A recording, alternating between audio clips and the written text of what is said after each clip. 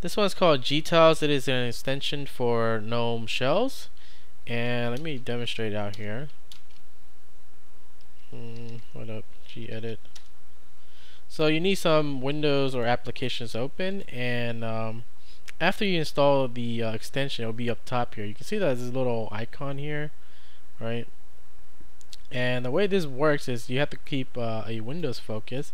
You can't click on your desktop and then activate it. You have to have a window uh, focus first, and then you can activate it.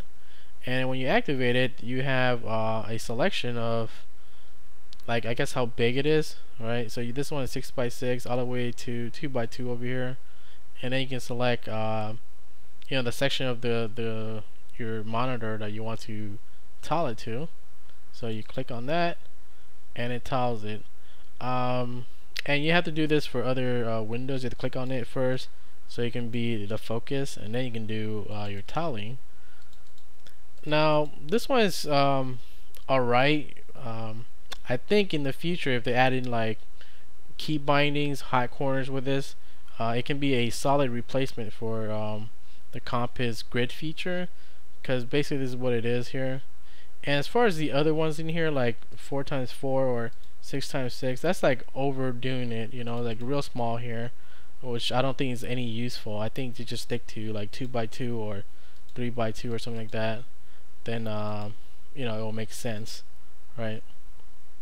Uh, other than that, uh, pretty cool, uh, you know, extension. And the way to install this, well, the easy way to do this, is you need Firefox because it doesn't really work with any other browser right now. Uh, you know, Chromium or Chrome doesn't work with this site. But yeah, go to um, their site. It's kind of like um, Firefox extension, but this is like GNOME Shells extension. You know, you go to the site and you install it. The way that you do this is just that you flip the switch, you know, from off to on here, and then it'll pop up like a little message say you want to install this extension and you do whatever it says and afterwards it'll be up top here and then you can activate it by telling it you know so that's just how that works um, yeah that's it. So pretty easy. Uh, try it out see if you like it. Uh, pretty decent first release but you know in the future I think it can be a solid replacement for um, the Compiz grid features which uh, I like using that a lot. Anyways that's it for this one